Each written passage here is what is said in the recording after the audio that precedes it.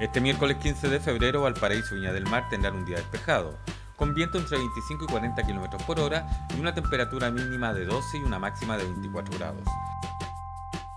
En Quilpué y Alemán habrá un día despejado, con una mínima de 11 grados y una temperatura máxima de 31. Quillote y La Calera presentarán un día despejado, con una mínima de 11 y una temperatura máxima de 31 grados. En San Felipe y Los Andes habrá un día despejado, con una temperatura mínima de 12 grados y una máxima de 34.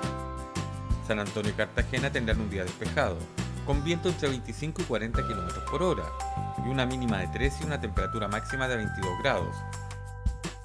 La unidad de fomento será de 35.378 pesos con 56 centavos. La unidad tributaria mensual de febrero es de 61.954 pesos, el dólar 795 pesos.